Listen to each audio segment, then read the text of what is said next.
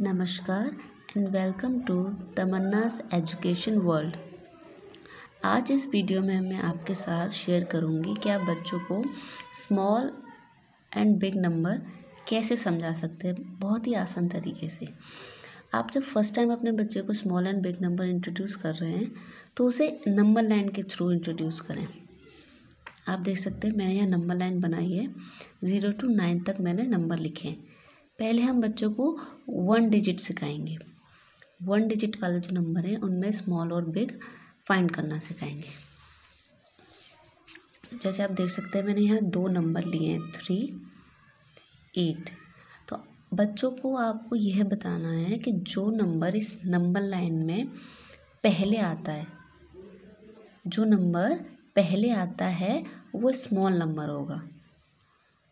जैसे बच्चा इसमें देखेगा, पहला नंबर है थ्री बच्चा यहाँ से देखेगा, इसमें थ्री थ्री यहाँ है और एट यहाँ है। पहले क्या आ रहा है? थ्री तो थ्री स्मॉल नंबर है।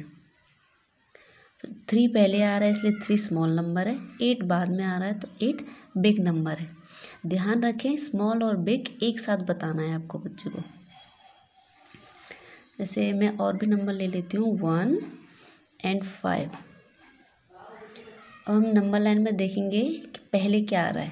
पहले वन आ रहा है, फाइव बाद में आ रहा है।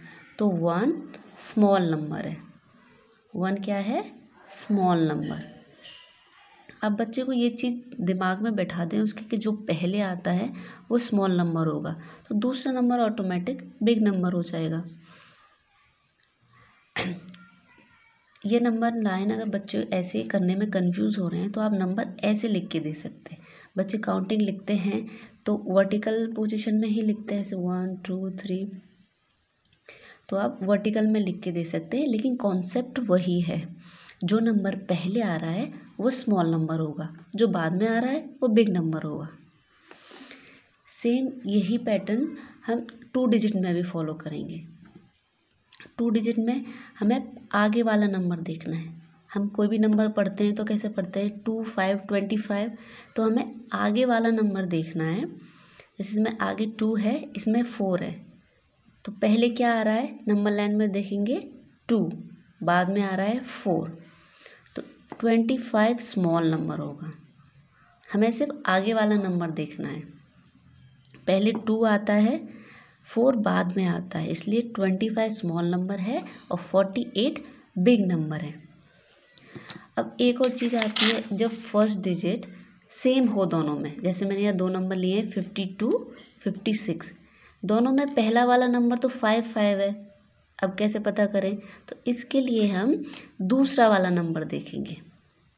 दूसरा वाला, इसमें है टू इसमें है सिक्स अब पहले क्या आता है?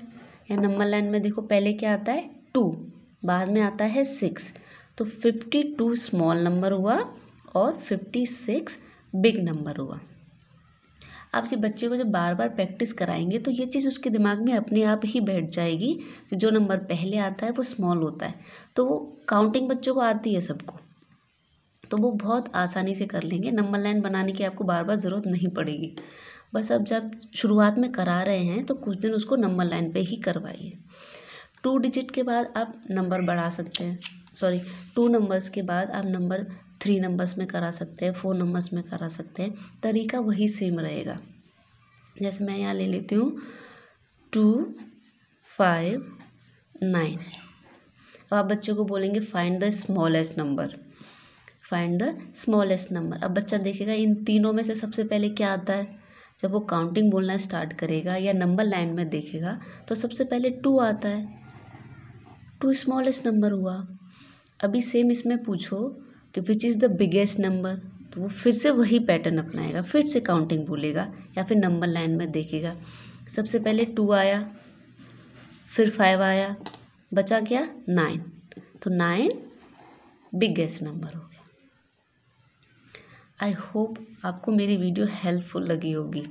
अगर हेल्पफुल लगी है तो एक लाइक बटन ज़रूर दबा दें और चैनल को सब्सक्राइब कर लें ऐसी और वीडियोस के लिए।